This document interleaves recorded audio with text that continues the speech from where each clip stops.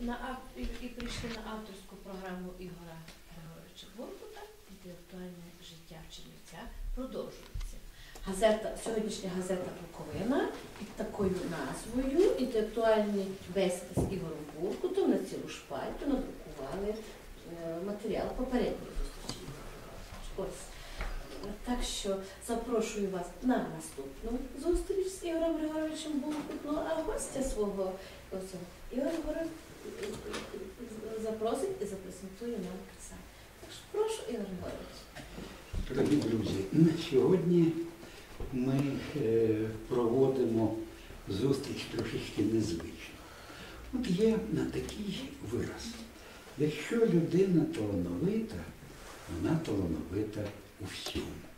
Колись я досить критично ставився до такого виразу, бо е, найчастіше доводилося зустрічатися з людиною функцією. Талановитий науковець, талановитий співак, талановитий композитор, талановитий поет. Ну, бували виключення. Скажімо, талановитий поет, одночасно талановитий художник. От не модний, нині Маяковський, скажімо, і там е, надзвичайно е, людина обдарована, і в цій сфері. А от сьогодні я вже повірив в те, що таке можливо. Наш гость Володимир Леонідович Затоловський для мене поступово розкривався в різних іпостасях. Колись нам довелося разом працювати як політтехнологами в одній єдиній політичній силі. І я, чесно кажучи, тоді був вражений, що людина без спеціальної політологічної освіти виявилася набагато більш креативною, ніж так звані спеціалісти. І ну, ми не будемо своїх всіх секретів розкривати, але те, що Володимир Леонідович пропонував, воно спрацьовувало. Інколи там певні йшли обговорення, я думав, та ні, та то ж не може бути. Як? Воно, воно ж не таке. І раптом хоп, звідки це? А це від, видно від того таланту, який був переданий. Е, Я думаю так, звідти, звідти. Е, Побачив я е, талановитого політтехнолога. Потім я відкриваю для себе талановитого композитора. Я відкриваю для себе прекрасного поета. Прекрасного поета. І нарешті дуже талановитого менеджера, який вміє організовувати виробництво, нормально заробляти і давати заробляти іншим людям. Ви розумієте, абсолютно різні сфери. І всюди розкривається талант е, цієї людини. Чому? У мене відразу виникає е, питання. Ну, я завжди е, починаю думати про родину, ну, родину Затуловських, чернівчани знають дуже добре. Так, родина, але і щось своє. От ми з вами вже про багато талантів сказали, а може когось виникло, е, виникло таке питання. А хто ж за фахом Володимир Леонідович? А за фахом він математик. Причому отримав освіту тоді, коли наш матфак мав таку школу, яку знали, мабуть, на всіх континентах. Навіть в Антарктиді там же математики також бували в тих експедиціях. Так що, можливо, і це, оце системне мислення, яке дає справжня освіта, накладається на талант від Бога, плюс от то, що мене вражає у нашому гості, це його працездатність, організованість.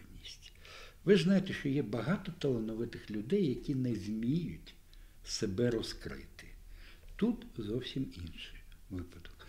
Людина розкривається, розкривається е, в одні- одній сфері, в другій, в третій, в четвертій. І от е, видана недавно книга віршів. Я нічого про неї говорити не буду, тому що найкраще скаже автор. Єдине, що я хотів би сказати, вірші тут і українською, і російською мовою. От про це я трошечки хотів би сказати, адже, на жаль, інколи ми стикаємося е, з таким, що один одному починають говорити, а що ж ти пишеш не тією мовою, що треба, а яка твоя справа? Я пишу тією мовою, якою мені зручно, тим більше вірші. Вірші вони народжуються в такому, так би мовити, стані, що ну, важко е, сказати, чи можна написати вірш українською на ту тему, де можна писати російською і навпаки. Я завжди е, ну, маю справу з різними перекладами з різних мов, як важко перекладати з російської на українську навпаки. Коли перекладаєш російська ізба українською хатою, то уявляєш собі зовсім інше.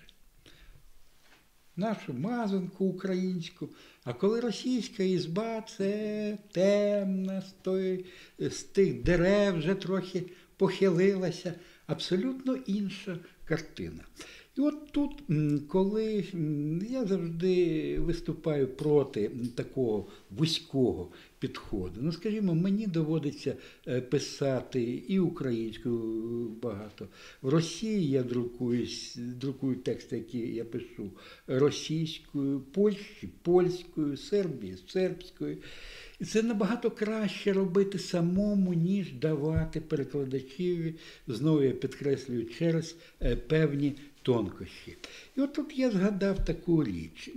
Коли розпалася Австро-Угорщина, то залишилося декілька е, вогнищ німецької мови на поставстрійських землях. Одне з них на Чернівцях, Пауль Целан і декілька інших е, поетів які писали німецькою в той момент, коли румунська мова була державною і її активно нав'язували. І саме Целан вплинув на сучасну німецьку літературу, особливо поезію, і його вважають мало не батьком сучасної німецької літературної мови. В Празі Кавка продовжував писати німецькою, хоча його постійно критикували, чого не пишеш чеською. Ти що, не знаєш чеську? Та знав він, звичайно, чеську, але в нього писалося саме німецькою. Пройшло багато десятиліть. І хто пам'ятає тих критиків? А кавку перекладають і на чеську, і на українську, і на російську. І я, правда, китайських не зустрічав перекладів, але думаю, що без них не обійшлося китайці європейську літературу останнім часом надзвичайно уважно вивчають. Так от, коли починають говорити не по суті, а по формі, я завжди кажу, будь-якою мовою може бути написана вартісна річ. Якщо її хтось не розуміє, її обов'язково перекладуть. А тут е, єдине, що б я хотів сказати, коли я почав е, читати книгу і українських, і, російських е, віршів, мене вразило те, що я в якусь дуже комфортну атмосферу поринув. І я зрозумів, що тут не та українська мова, якою виступають у Верховній Раді, а тут справжня поетична українська мова, причому такі звороти, що, чесно кажучи, починаєш думати, Господи, я ж того років 40 ніколи не бачив і не чув. Але е, російська це взагалі фантастика. Це те, що називалося серебряний вік руської поезії. Мова, яка вже майже 100 років на величезних просторах не використовується. Справді, от та мова, яка зберігалася лише е, поетами-іммігрантами і лишалася от там, в тих творах, виданих на початку ХХ століття. Е, Я думаю, що ми сьогодні почуємо вірші, і у вас буде те відчуття, яке в мене вже було. Ви отримаєте ту справжню естетичну і інтелектуальну насолоду, яка схована в е, оцих творах. Чому я підкреслюю інтелектуально? А це вірші з дуже глибоким філософським підтекстом.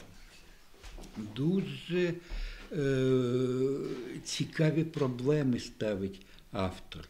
Ну, е, що мене особливо зачепило?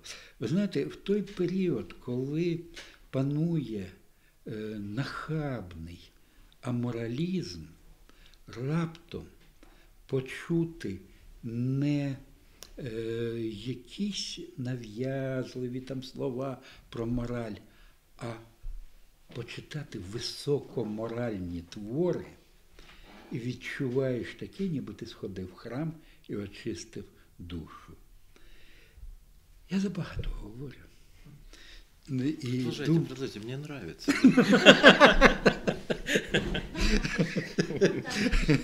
Е, І я думаю, що все-таки е, Володимир Леонідович зможе розповісти те, чого я не побачив, не зрозумів, що він хотів сказати, можливо, і ну, ми не зачепили е, цього. Е, Тут повна свобода. Володимир Леонідович починає говорити те, що він вважає за потрібне. Спасибо. Здравствуйте, дорогие друзья, рад вас приветствовать. Для того, чтобы как-то закончить эту идеальную картину, которую нарисовал обожаемый мной Игорь Григорьевич, я вспомню фразу Байрона «Я не могу быть гениальным 24 часа в сутки, не хватит времени, чтобы бриться». Поэтому мы с Игорем Григорьевичем запустили бороды.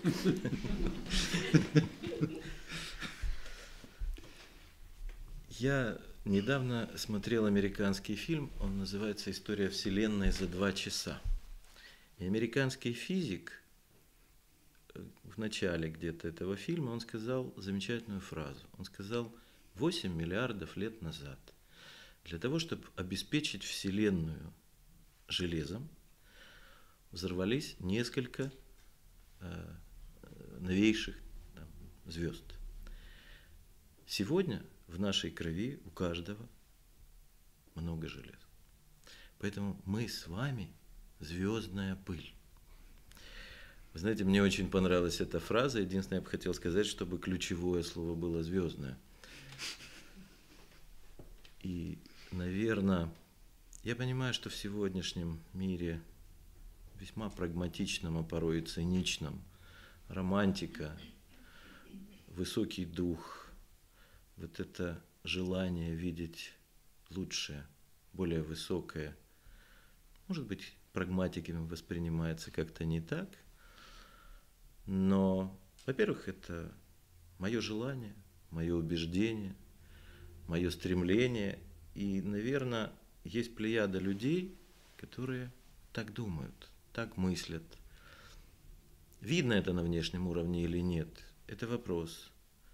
Но то, что они есть, то, что они существуют, и то, что несмотря на то, что вот вроде как побеждают те, кто далек от этого всего, проходит время, и остается библиотека имени Анатолия Николаевича Добрянского.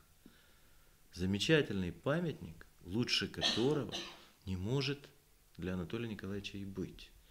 Я могу это говорить, потому что я знал Анатолия Николаевича с самого детства, в силу того, что он сотрудничал с отцом, и они, у них есть общая песня, которую я уже говорил э, Лесе Ляревне, что там исполняла и Валентина Куприна, и Юрий Богатик, это песня Мрии. Ну и дальше мы...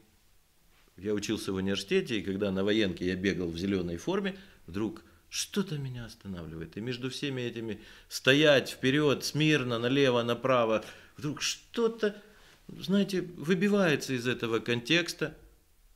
Это взгляд. Это взгляд из окна филфака. Анатолий Николаевич, здравствуйте. Володенька, привет. Значит, все уже легче, уже не так меня душит эта форма, уже не так плохо пахнет эта смазка артиллерийского замка или еще что-то такое. Понимаете, взгляд.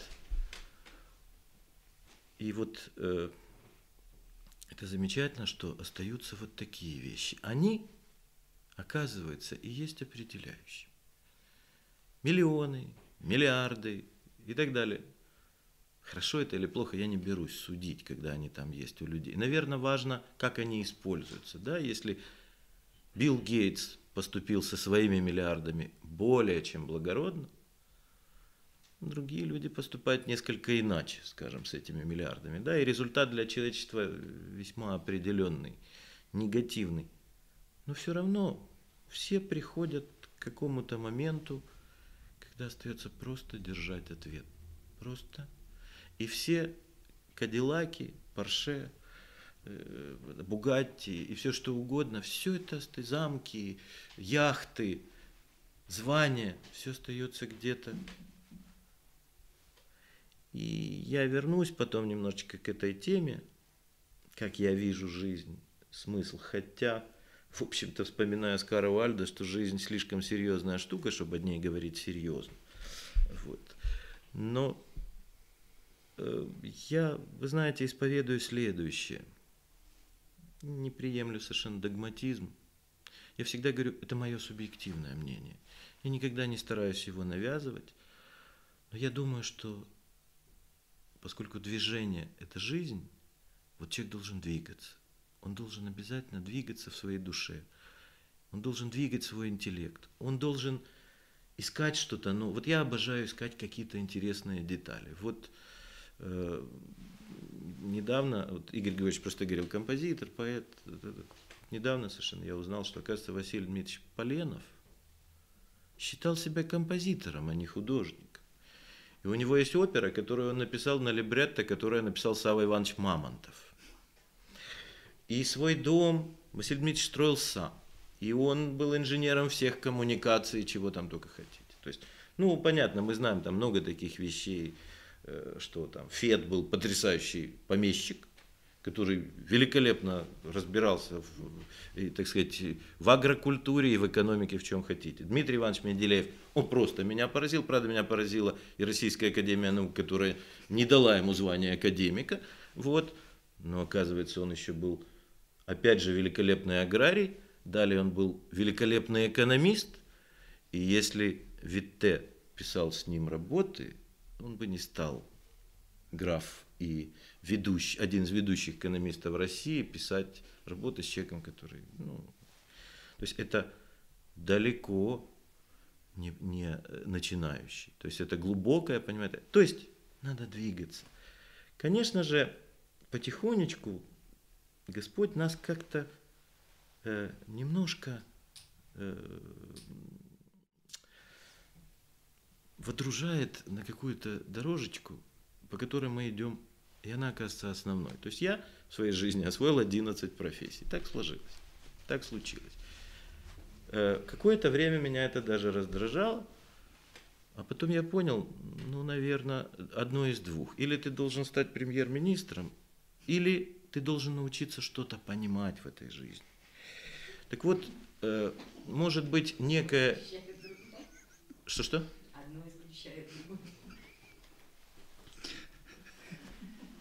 Я не буду комментировать. Это же будет в интернете, это будут проверять. Э, вот. Так вот, многое, что написано, может быть, я с искренней благодарностью хочу сказать, что вот люди, которые были на моем концерте, и люди, которые вот читали уже книгу, ну, они тепло очень отзываются – я отсутствую, не болею синдромом надутых щек совершенно, но это очень тепло, и это очень важно.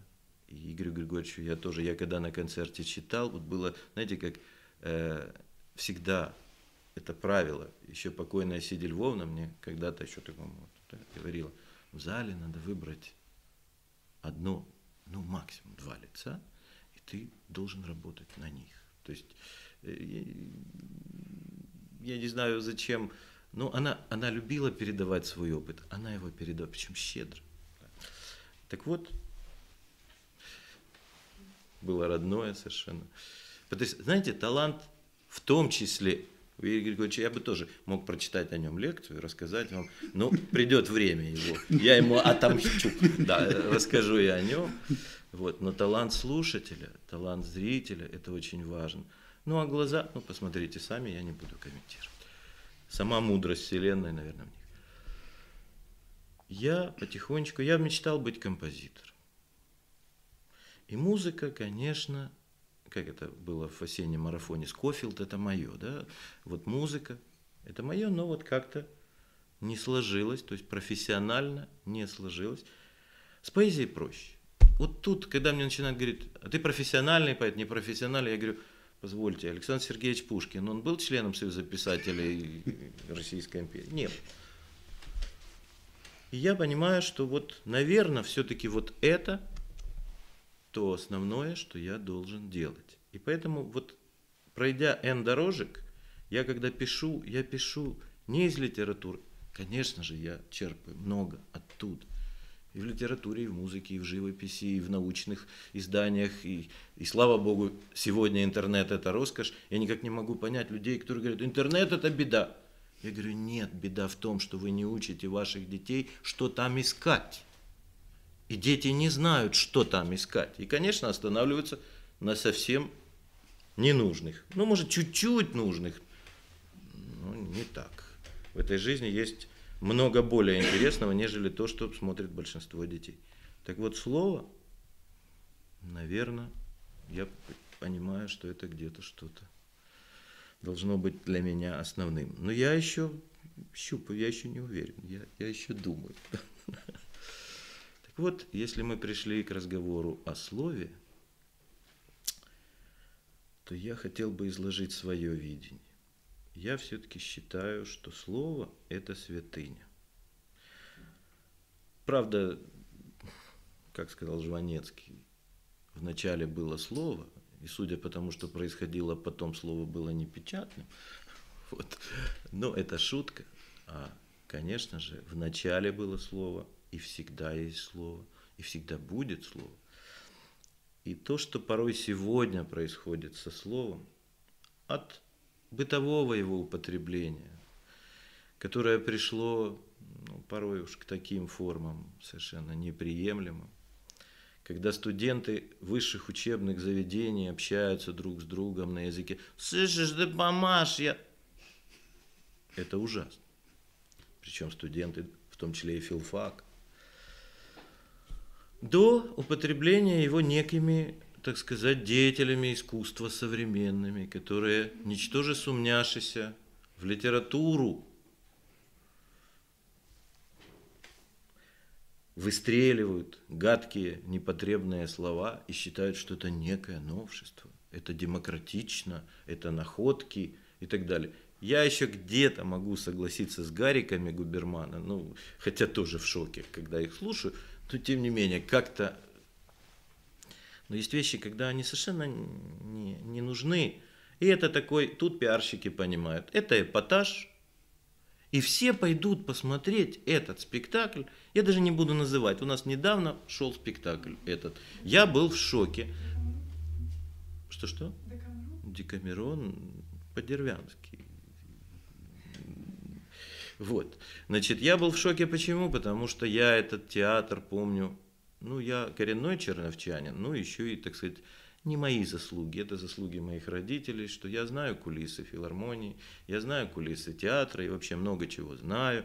Э, через наш дом прошли очень многие люди, к сожалению, некоторых уже нет, но это звезды, звезды и звезды. И в частности театр под руководством Борина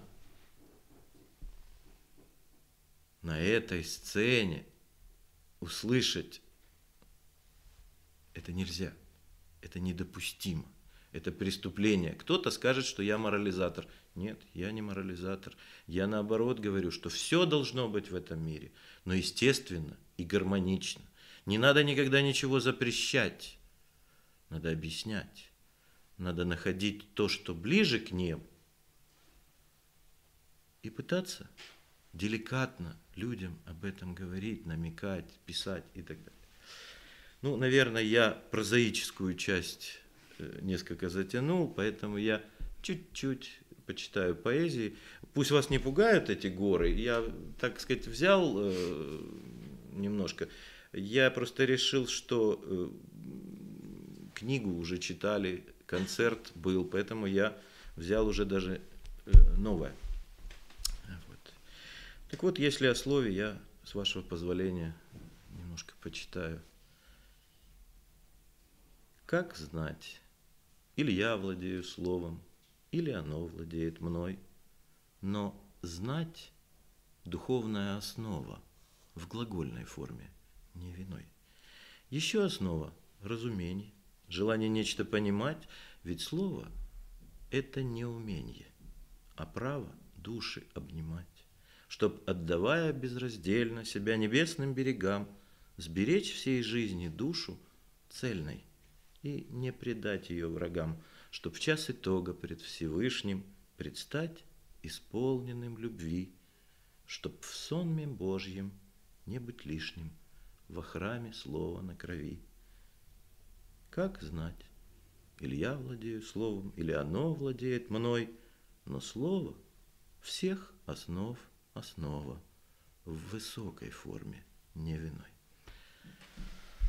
Это ну, такая как маленькая декларация видения. А далее я не подбирал. Конечно, когда я выстраивал концерт, я его выстраивал очень логично, как некое сценическое действие с музыкой, переходами и так далее. А здесь, вы знаете, я просто выбрал то, что хотел бы почитать людям, которые, как теперь говорят, со мной на одной волне, но только волне духовной, волне души ажурной пеной осязаемый портрет создать, как многие считают, невозможно. Да нет, возможно. Если выстрадать секрет, ажуром нужно пользоваться осторожно. Ажуром пены, исчезающим как миг, рисуют только те, кто вызрел духом, кто слышит назревание его прозрачным, нет, потусторонним слухом кто дышит воздухом пружинным, не пустым, кто в пряже звуков слышит звенья звона, кто в жизни вечно неблагословим, чтоб после стать благословением самвона, в ком амбра жизни зреет, как цветок, и в испытаниях благоуханность очищает, как свет росинки, орошающий листок, в дыхание бездыханность превращает ажурной пеной, в светлой чистоте начертаны истоки монолита, и в ней же содержание его духовную незримостью отлито. Ажурной пеной осязаемый портрет создать одной лишь кистью невозможно. Сие дано лишь тем, кто осязает свет, в ком право света над всем прочим не приложено. Понимая, что традиционная часть э, литературы – это пейзажная литература, я э, немножечко как бы на улице осень, сентябрь, замечательное время года, ну, я, так сказать, решил немножко и об этом. Прозрачным ветром стелется сентябрь, на желтые тропинки бездорожья, На тени свет, на сжженных листьев гарь, На памятников стылые подножья, На крыши, испотевшие росой, На мумии увядших клумб, на ветви, Ступая в теплоту земли босой, Еще хранящий жар событий летних. Прохладой нежной усмиряет пыл Лесов, горящих рьяными цветами, На облаков, оглядываясь тыл, Бесстрастно проплывающих над нами — Прозрачна пауза меж летом и зимой, Неспешно и красиво, как павана, Что пред безжалостной снежной кутерьмой Природе вянущей поет свою осанну. И нас готовит к тонам зимних дней, К бесцветности, тоске и ожиданию, К фонарной тусклости заоконных огней И пустотой пуржащему мерцанию. Прощальной шалью устилает мир Сентябрь прозрачной истине молчания, Благословляя звоном родниковых лир Дожить до дней весеннего венчания. Ну и поэзия, э, я люблю пейзажные вещи, описательные, но немножечко всегда должно быть подтекста, немножко обобщений. Философы это знают и, наверное, поддерживают. Поэтому вот уже как бы немножко сочетание он. Клинопись прощания Журавлинова, заклинание с пожеланием весны – над землей кораллово-калиновой Крыльями написанные сны, Тонких линий графика волшебная, Треугольник стынущей души, Над стернёю ожерелья хлебного Голубой сияющей тиши, Как молитва с просьбой о прощении, Как ладонь с прошением о любви, Писанное сердцем откровение, Диалог Всевышним визави — Покрова туманов над озерами, буйный цвет орнаментов лесов, купола небесные над хорами, слепленных из света парусов, что несут корабль земли в хрустальное царство наступающей зимы. Заклинание светлое, прощальное, противоречивое, как мы. Вот. Ну, мы можем так пройтись по временам года, да, такой цикл «Маленькие времена года», не Чайковский, но пробуем. Беловерхие стаи журавлей, снегопадов. Переходим к зиме. На гирляндах сосновых иероглифы снов ткут из, нить, ткут из нитей пуховых, пышных, девственно новых, укрывая от взглядов лик молитвы без слов. В кое вечная нежность, что любовью омыта, что объятиями свита в лепестки монолита, что укроет собою снежная монолита от зимы бессердечной судьбы будущих дней, чтоб весенним рассветом стать когда-то в полете, распустившимся цветом, что пока что ничей, шалью нежно-зеленый, обр... зеленое обрамлением неба, в пасторали раздолей, в песнях светлых ключей. Ну, а потом будет приходить весна. Логично. Был сильный ветер шум деревьев, блики. Меня будили, разрывая сны, А на стене метались тени, лики, Бушующей неистовой весны. В дожде огромном свежесть разбухала, Как цвет сирени на сырых ветвях, Какое бурное и мощное начало, Какая музыка в струящихся волнах, Животворение, хоральное оплещение, Смертельный бой отжившего с рожденным, Какое полно перевоплощение — Какая сила в мире всепрощенном, Сколь в этой му силе музыки великой Рахманинов и Бах всенощной страсти Природы первобуйной, перво, первородной, буйной, дикой, Бурлящей ощущением полной власти. Оледенение оков разбито разом, Смирение долг зиме отслужен полно, И крылья воли — взмахами экстаза из гущи неба иссякают перлы молний. Какая оратория восторга, какая истинно вселенская молитва. За ночь такую можно жизнь отдать без торга. Какое зрелище, святая эта битва. А утром на рассвете тихо стало, прозрело небо синевой высокой, и в завиток берестяной сбежало три первых капельки – березового сока. Ну, а потом мы перейдем к лету. Ну, лето – это не впрямую лето. Это вот так, как я его чувствую. Волны сакуры, маленькая четверостишие. Земные звезды, розовая вечность, пьянящая, пленяющая необъятность. От музыки в ней ритме деликатность, от неба тишина и безупречность. Ночь неба дышит теплым светом, волшебно звезды шепчут сказки. а волны с берегом дуэтом на завтра растирают краски. Рахманинов, прелюдия. Ночь, рояль, цикад, мерцание, трель, шум ветра, восклицание, трепет звезд, исход свечи, замирающей в ночи. В плавной нежности вселенной, миг восторга вожделенный, миг крылатый, взлета миг, откровения светлый лик, и слезинки робкая льдинка, боль прощенная навек, значит, вправду человек. Ну, а потом мы вернемся к осени, и я как бы завершу времена года. Но это уже такая посредованная осень. Ива, плакучая ива, плавные тени пруда, длинноволосая дива, гибкая, как вода, эхом печального эха, скрадывая свою грусть, роль шепотливо безмолвную выучила наизусть.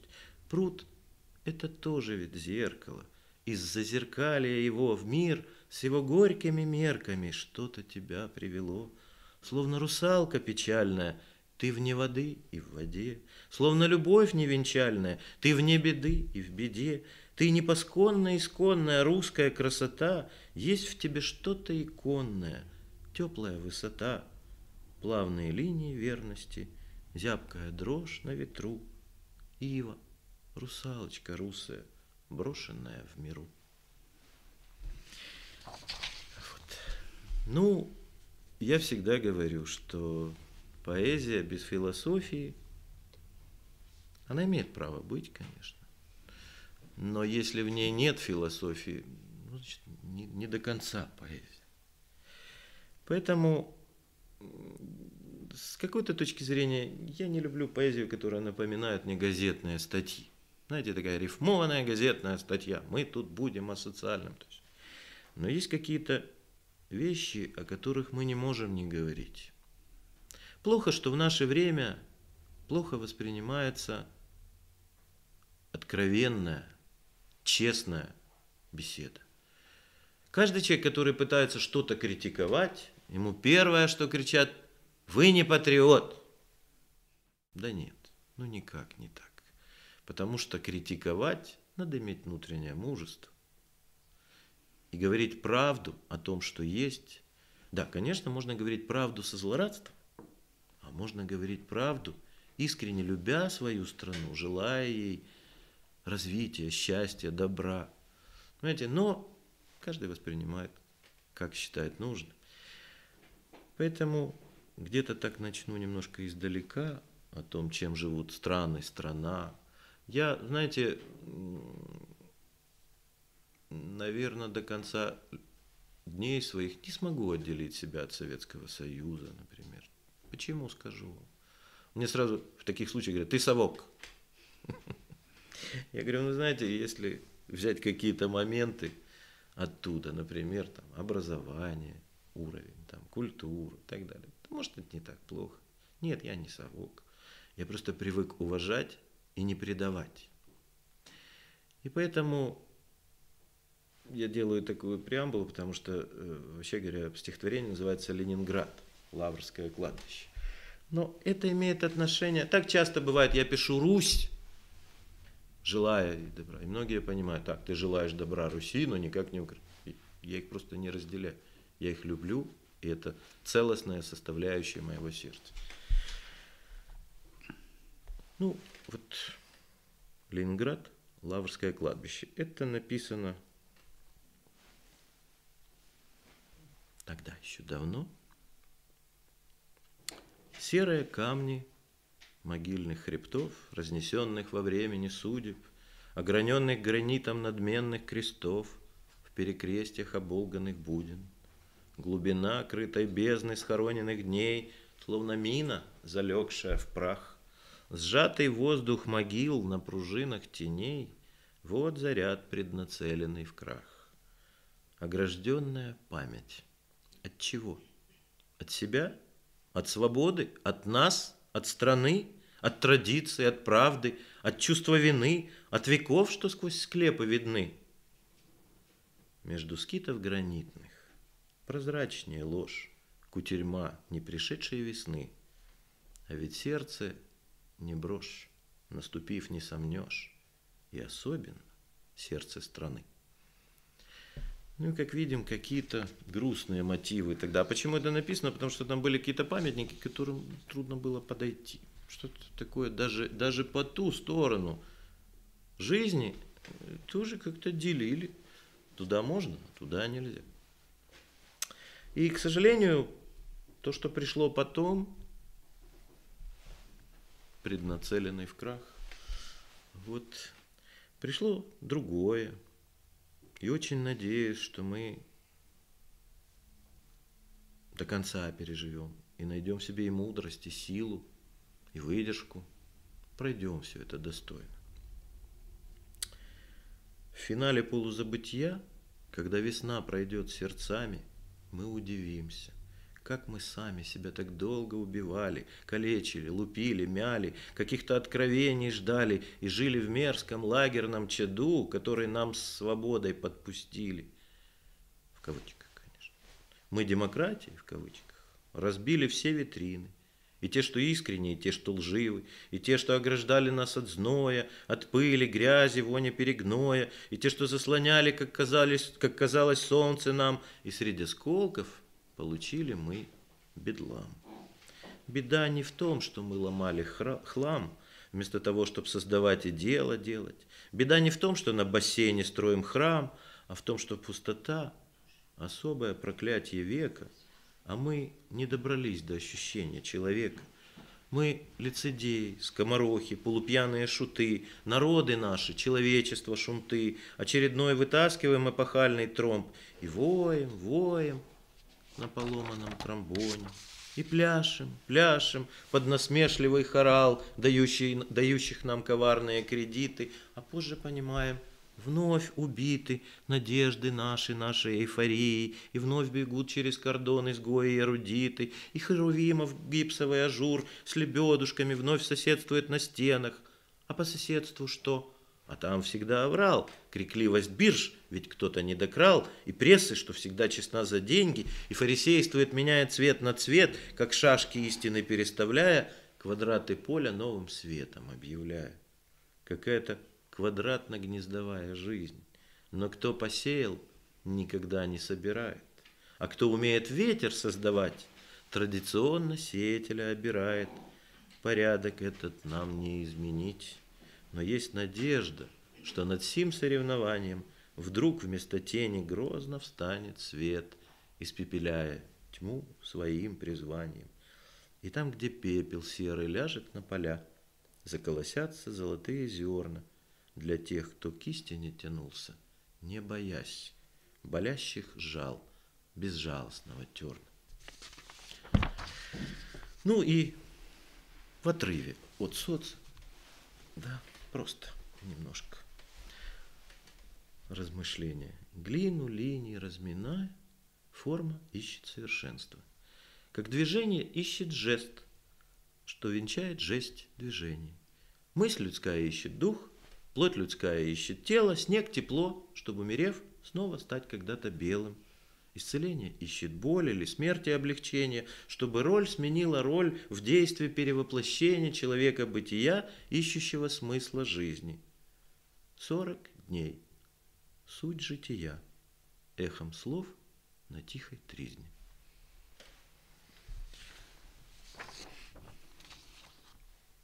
Я люблю разные языки, как уже говорил Игорь Григорьевич. Они каждый – это своя музыка. Вот мои стихи, конечно же, они, я всегда говорю, их основа даже не слово, а музыка. Я слышу мелодии какие-то. И каждый язык – это своя замечательная мелодия. Я не буду сейчас перебирать. Я чувствую каждый язык, даже те, которые я не знаю. Я порой просто слушаю. Я вот слушаю музыку каждого языка. То есть там, скажем, родничок французского языка, который там грассируя пробегает, например, да, или там невероятная плавность итальянского, еще что-то. И экспрессия испанского. Обожаю украинский язык, потому что он теплый, родной, он образный. Ну, это наша аура. Поэтому я немножечко, так сказать, чтобы переход был более плавным, я начну со стихотворения, которое уже слышали, но я посчитал, что не зазорно его еще раз прочесть. Не, не потому что я его считаю очень хорошим, а просто не зазорно прочесть еще раз. У теплій музиці натхнення, у чистих звуках рідних слів живе людське благословення, живе небес високий спів, живе святого світла доля, живе той неповторний зміст, що робить, мов жадана воля, усіх нас вищими за зріст. Живе незнане і непоказне, святе і грішне, мов буття, по суті ж істинно прекрасне, у вірі справджене життя. И я прочту еще одно стихотворение, только я хочу, чтобы э, меня правильно поняли. Э, основное – это не фраза «колись я буду славой Украины», а основное все другое Колись я буду славою України, яка мене не знаю, в чим вина, мов хрест на несповіданій дорозі, в байдужому мовчанні обмина. І далі осліп іде в страшну дорогу, де в поколіннях міряні версти, лишаючи обабіч шляху Бога, а на шляху з людських сердець хрести. Як зупинити божевільну матір, яка вбива себе і своїх синів, що намагаються її порятувати і гинуть перехресті чорних днів? Куди ти йдеш, матусю? Зупинися, то ти ж до пекла скоро так дійдеш. Та ти не хочеш, ти чи не можеш чути зовсім і по навроченій тобі дорозі йдеш. Я так люблю тебе, та нині мало віри словам, що йдуть від чистої душі. Твій глузд і дух зім'яли бузовіри, і тебе розпродають за срібні гроші. Я не спасу тебе, не встигну, не зумію. Підступна куля швидше від пера. Та слово і після смерті не старіє, як дух, що після смерті не вмира і я тобі залишу слово чисте. Це слово заповітне, каяття, в яким, мов в оберігові намисті, зміст запоруки Твого майбуття. Я знаю, мати, ти мене почуєш, коли пройдеш крізь свій страшенний біль, і щиро моє слово поцінуєш, і немарноту моїх гірких зусиль. Ти будеш жити спершу без кордонів, ну це написано давно тому так а потім повернешся назавжди під куполи твоїх високих дзвонів, ти тільки віру й мову збережи. І нас, апостолів цієї мови, дива, обов'язково в молитвах спом'яни. Хай буде ця молитва незрадлива початком незрадливої весни. Колись я буду славою країни, що нині біль мій мовчки обмина, бажання будувати храм бісовські днини. Оце, мабуть, і є моя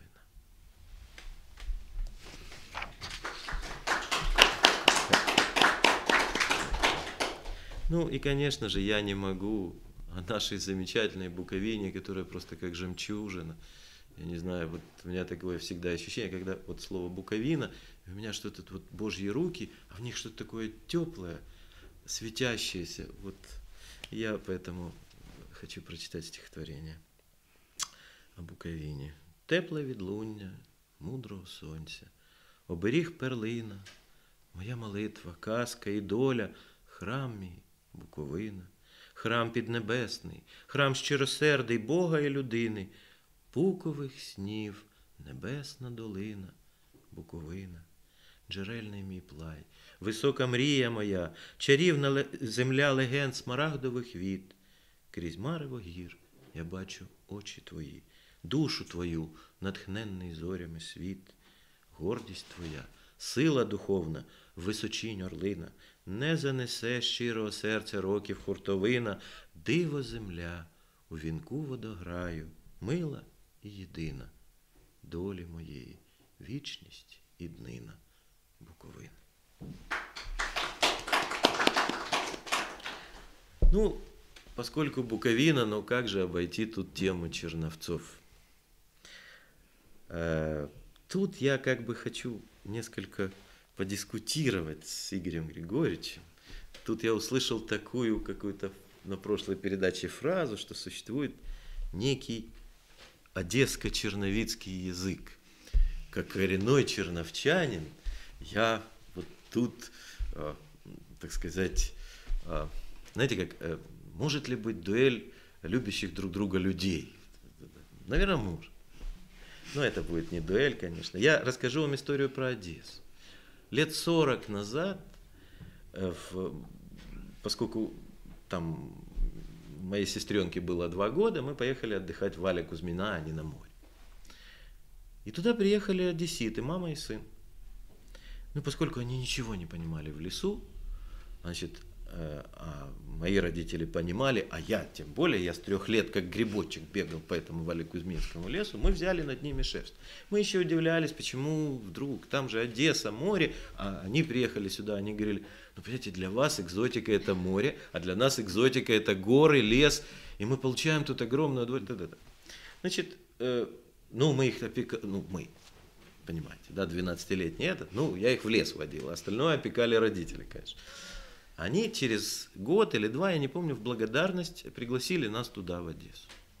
И вот мы пришли в гости к маме этой женщины, вот которая была с сыном.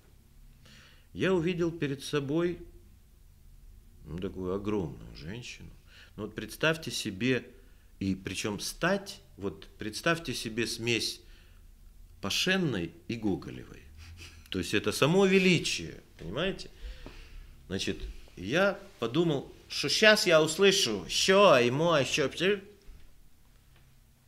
Я услышал потрясающий, чистейший литературный русский язык.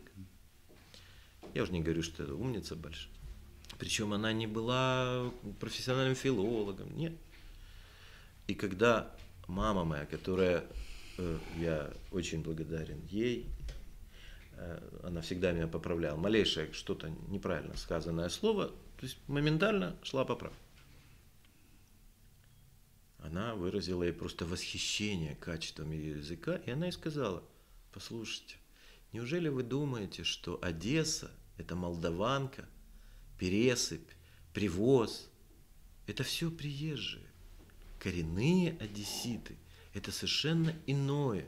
Это люди, исповедовавшие высочайшую культуру, равно как коренной черновчанин, я могу сказать, что тот круг, по крайней мере, людей, в котором я общался, всего того, что называют одесско-черновицким языком, я никогда не слышал.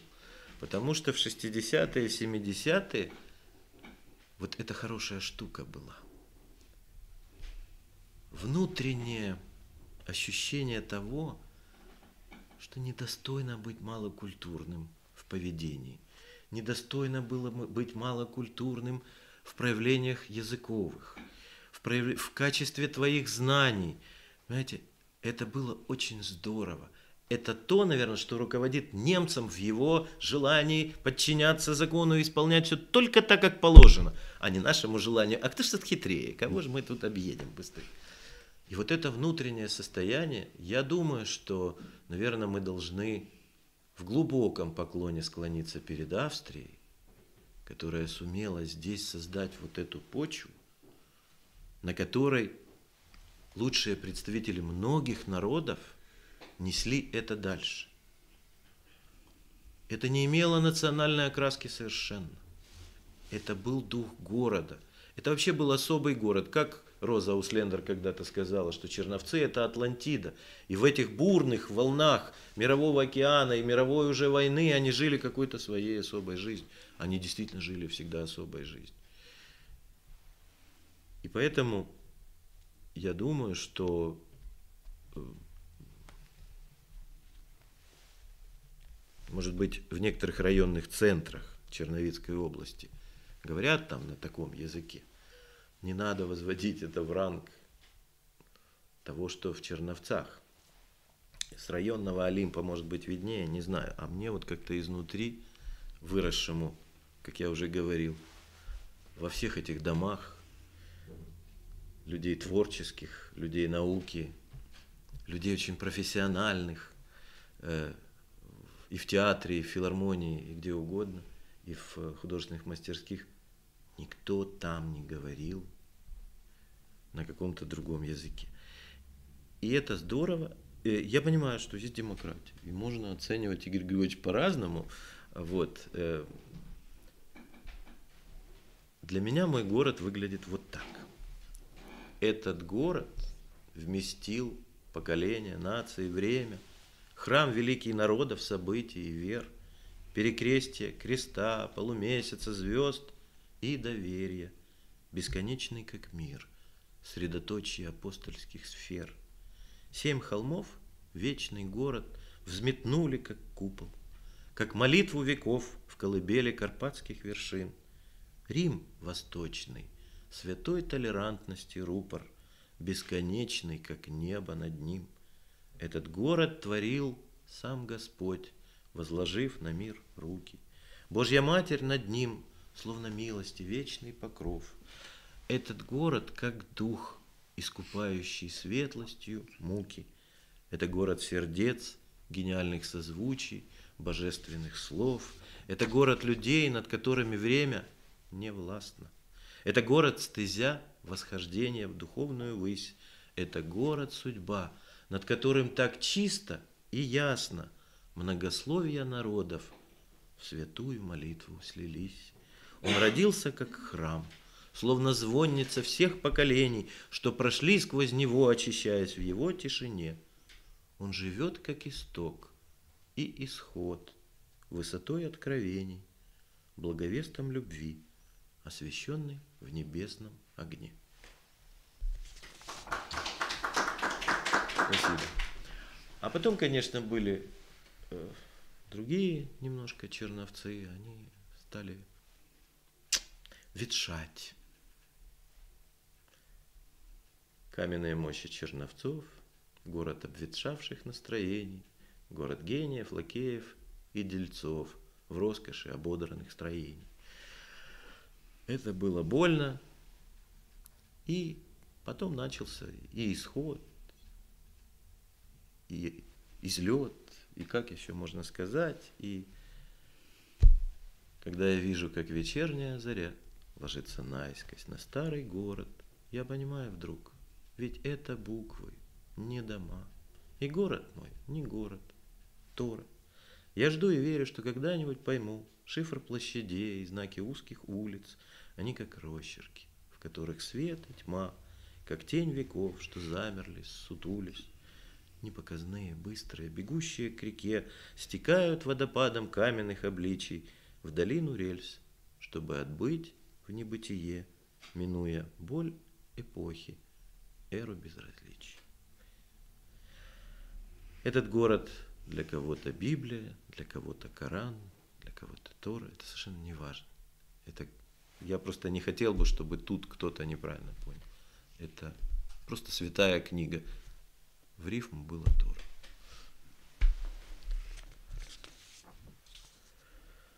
Вот. Поэтому, возвращаясь к разговору о языке, я прочту стихотворение, которое само просто все объясняет. Я исповедую язык, которым Пушкин и Есенин писали рост сияния лик, в котором светлый дух весенний, в котором чистота снегов, колоколов небесных звучность, орнаменты созвездий снов и судеб неблагополучность. Я исповедую язык Цветаева и Пастернака, в котором и последний миг озвучен ожиданием знака. О, устремленный в небеса, нехоронимый в глыбах праха, могучий, вечный, как леса, не знающий захлебов страха, неукротимый, как народ, которому нет в мире равных, в нем главный, благородный род имен, что пишут с букв заглавных. Я исповедую язык, в котором Слово Божье – мера – который словно и возник, что бесповедовалась вера в его созвучиях и стихах, не поддаваясь переписке, чтоб заблудившихся в грехах вносить в помилованных списки. Благая весть его звучит, как вечности хорал великий, он как хрустальный монолит, прозрачный, чистый, ясноликий, крылатых песен вольный дух, храм стройных строф, опертых в небо, где слышно, как молитву вслух, волнуясь, шепчут волны хлеба. Простой, Высокий, добрый, злой, глубокий, мудрый, нежный, едкий, гигант, рисующий иглой вечно зеленых лавров ветки, и белый яблоневый дым, и снег, и вешнее раздолье, и все, что выжег Серафим небесной гениальной болью. Я исповедую язык, что стал живой иконой слова, в любви к которому постиг, обрел души своей основу.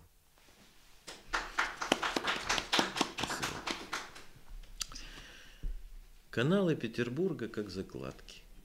Здесь Пушкин, Блок, Есенин, Пастернак. В страничках гимназической тетрадки отмечен каждый, каждому свой знак. Меж роскошью дворцовой и фонтанной Хрустальный образ светлой тишины, Столь значимый, безмерный, безызъянный В благословении Исаакиевской вышины. Прекрасный миг история недолг, Трагично продолжение его — всплеск жизни и очередной некролог с цитатами героя своего.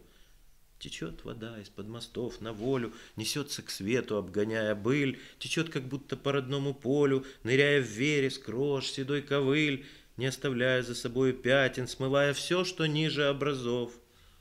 Мне шум ее понятен и приятен, его воспринимаю, словно зов.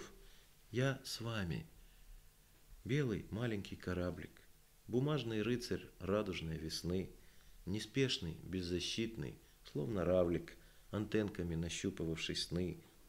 А в этих снах величие Петербурга, лежащее на каменных мостах, и эхо душ потомков Демиурга, чьи имена досели на устах.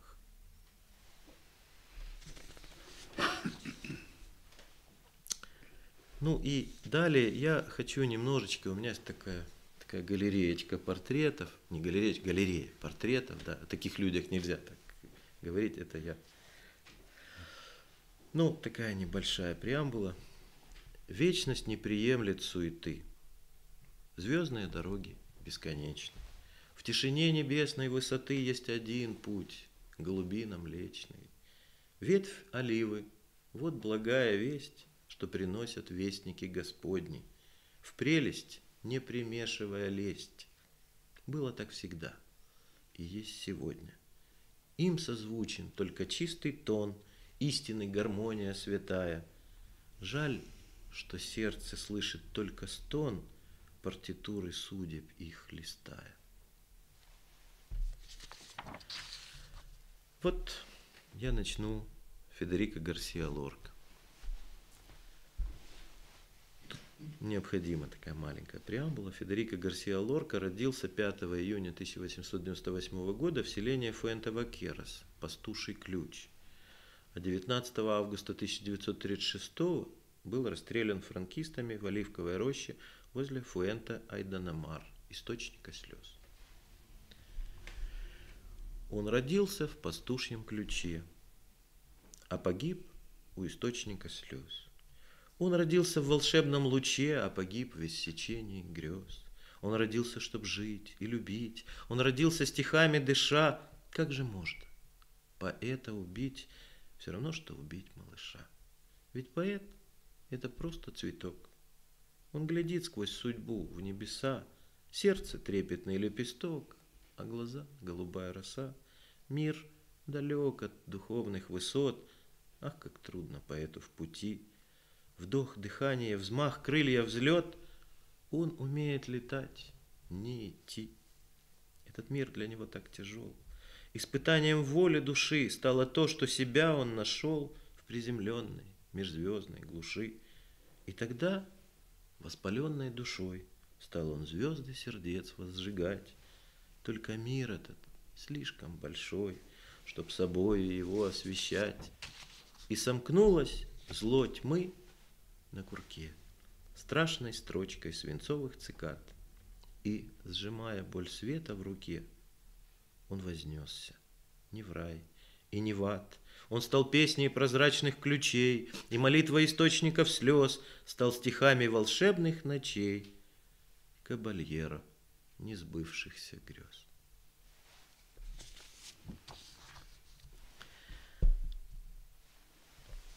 А далее я хочу прочитать стихотворение про мою любимую поэтессу украинскую. Называется «Полесская баллада».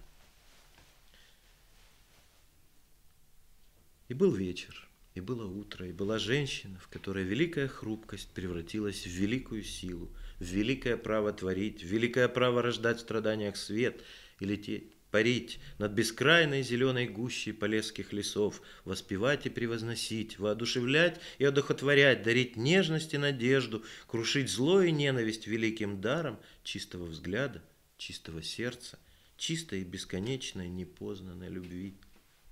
Ее звали Леся, словно эхо лесов. Она была квитка, на украинском цветок. Она была косач, на украинском тот-то косит.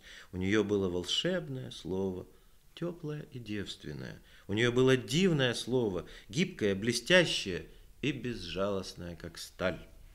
Она была императрицей этого слова. Она умела и смела им пользоваться. Она умела уничтожать им чтобы миловать, чтобы дарить себя и одаривать, чтобы взрастить, выпистывать и явить миру великое диво, светлый образ украинской души, что выбрала в себя бесконечную, безмерную вольность запорожской степи, неукротимую мощь Днепра, Славуты и вековых карпатских лесов, родниковую прозрачность свирели сопилки и тихую негу плавных полесских озер, души, которая умеет улыбаться, как солнце, и как солнце смертельно ослеплять вражескую нечисть, распахивая в разные времена над необъятными просторами отчизны своей то карающие, то возносящие крылья.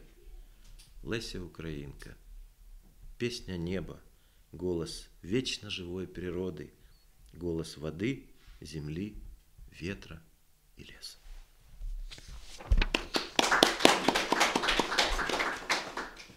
Ну, есть э, в моей жизни фигуры. Вот я, у меня есть такая мечта потаенная, как-то вот небольшому количеству людей суметь подарить свою книгу.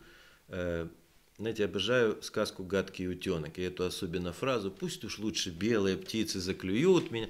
То есть по гамбургскому счету хочется. И вот Алла Сергеевна Демидова, это тот человек, от которого мне очень хотелось бы услышать. Я не знаю, в какую сторону это будет, но почитая ее великой актрисой невероятно мудрой, глубокой женщиной, я, конечно, мечтал об этом. Ну и я написал, ну так и называется, Али Сергеевне Демидовой.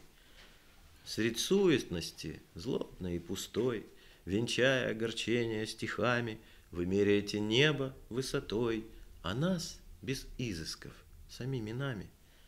Несть реквиемов в нынешних церквях, Несть истины в томах гламурно гладких, История и души в рваных швах И в язвах, подлых, ржавых, гадких.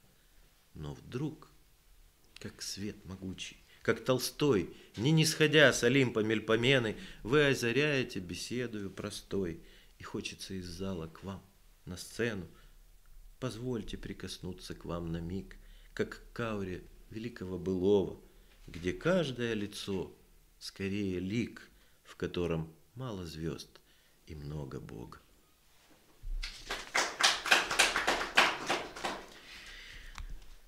Ну, а далее уже мы идем, так сказать, от фигуры к фигуре. Мы у них учимся, я у них учился, по крайней мере, многому и разному, поэтому Марк Шагал. Мы привыкли к сложным жестам, мы привыкли к сложным фразам, а ведь может быть все просто – коль поверить счастью сразу. Просто сердцем поделиться, небом, солнцем, облаками и глазами объясниться и обнять любовь руками. Мы к условностям привыкли. Мы привыкли к многословию, а ведь ничего нет проще, чем назвать любовь любовью. Мы привыкли жить так сложно. Мы всегда все усложняем. Может, лучше верить чувству, над землей вдвоем взлетая. И триптих. Это три маленьких четверостишия. Крым – над виноградниками гроздья кипарисов. Над кипарисами вершинность облаков. Природы храм. Живой парнас Париса. Мир светлых грез и воплощение слов. Коктебель. Залив ажурный в пелене заката. Пейзаж роскошный в раме облаков. Здесь тишины и неги постулаты вершат себя между хребтов веков. Ну и понятно, Максимилиану Волошин.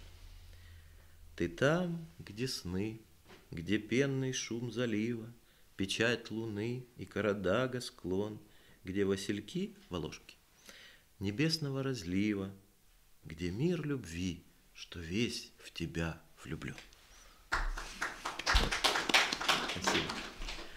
Жанне Болотовой. Вы похожи на раннюю осень в ее теплой и светлой печали, на религию мудрой любви, то есть все, что нам всем не додали. И обожаемая мной, как певица, Нине Матвиенко. Кантиленно, акапельно, безыскусно, неподдельно, безызъянно, беспредельно, гениально, безраздельно и уже не зал, молельно. Спасибо.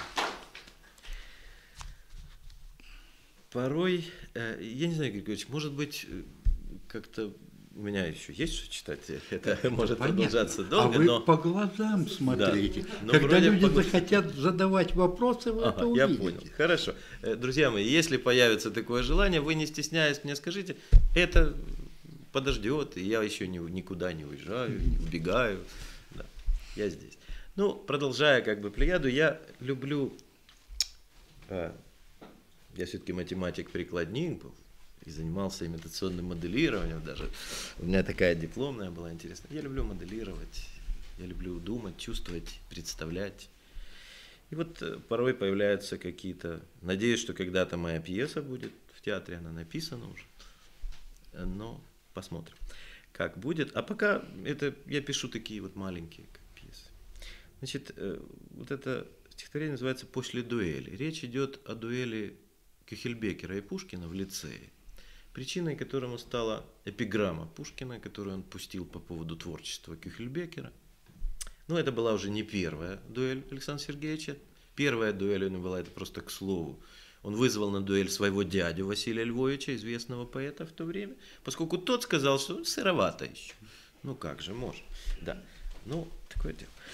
Вот. Значит, я сразу еще сделаю э, такую ремарочку. Обезьяна это было лицейское прозвище Пушкина.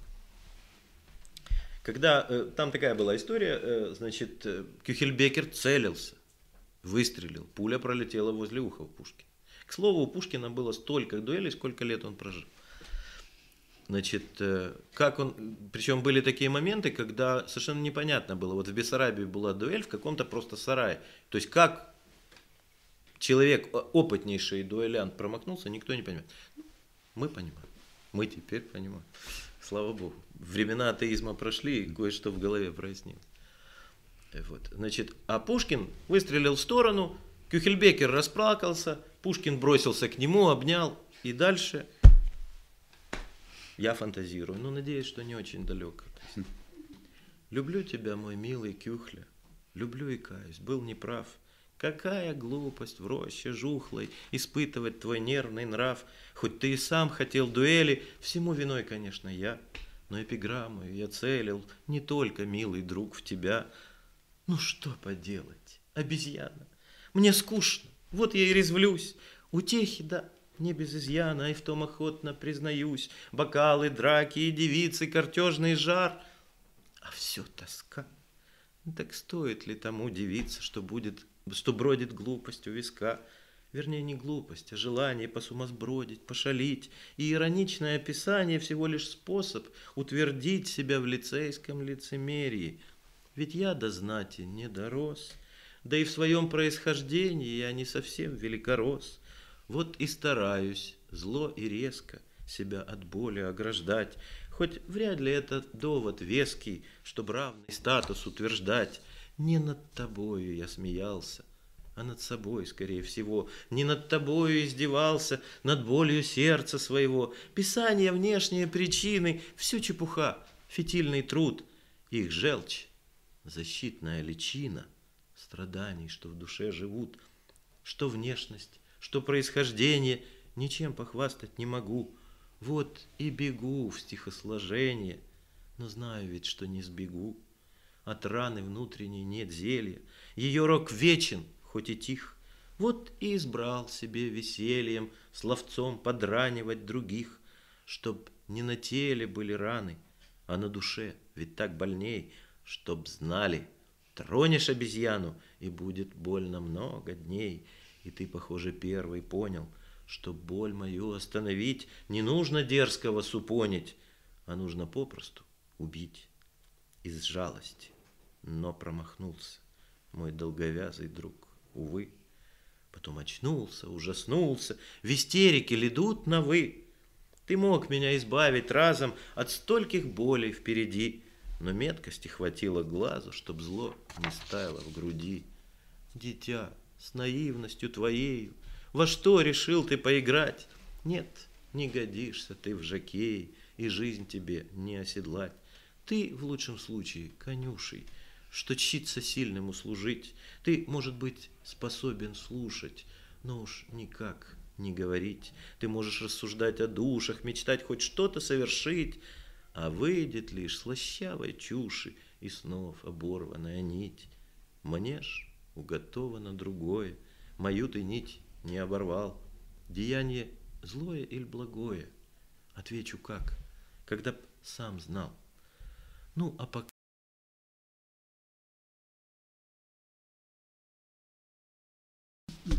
буквально пару слів. Як народилася оця книга? І що означає її назва? Не всі знають. Ну, так долго ни один акушер или акушерка не смогли принимать эти роды, поскольку рождалась она лет 35. Э, много раз мне говорили, ну так издавай сборники. нет, я хотел книгу. Я понимаю, что литература состоит из книг. Поэтому я не спешил. Что-то писал, редактировал. Я редактор лучше, чем поэт. Я жестокий редактор. У меня есть и профессиональный опыт такого рода, а уж внутренний редактор. Поэтому я во-первых, человек очень верующий, а во-вторых, э, исходя из этого, ну, э, это называют фаталист. Нет, я уже не говорю фаталист. Я понимаю, что просто все в руках Божьих. Вот и все. И спокойно жду. Должно быть, будет. Не должно быть, не будет. Да. И как писал Блок, а если нет, такие желания не было да, в своем дневнике. Эта книга родилась, я думаю, что где-то вот назревает тот момент, когда всем нам, наконец, надоест примитив. Чем больше любовь, тем ниже поцелуй. Простите меня, текст из песен, да? Или, или еще какие-то такие мерзостные откровения, которые называют стихами, текстами, литературой.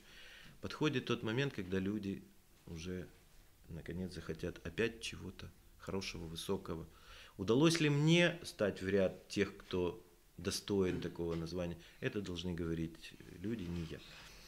Так вот, эта книга называется «Альтиссима». Альтиссима так во времена Микеланджело называлась гора. В округе Пьетро Санте, это земля святого Петра, тогдашний папа римский приказал Микеланджело заняться добычей камня, а вершина этой горы, это был Монолит – это было нечто уникальное. Монолит такого мрамора, такого качества, которого не было даже в Караре. И для Микеланджело это было несколько страшных лет, потому что его предназначение совершенно иное. Но он должен был заниматься добычей этого камня. Естественно, никакого творчества, муки и душевные, и физические. Но позднее – все свои лучшие произведения Микеланджело изваял из этого камня. Ну, я позволю себе такую фразу, которая там в книге, то, что можно ваять только из глыб чистого неба. Вот таково. э, Я, э, если хотите, я просто э, как бы окончание книги как раз вот Альтиссимо. И там, ну, как бы три ипостаси разного мрамора.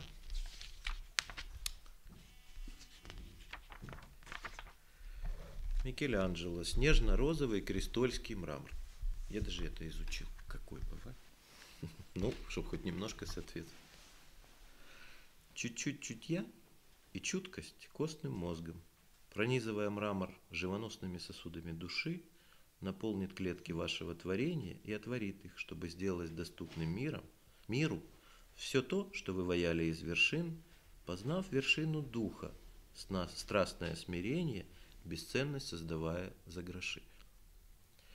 Микеланджело, белоснежный каражский мрамор. Лица зреют, лица зрея, истин мраморных вершины. В снежностях окаменелых, нежность прячущих глубины.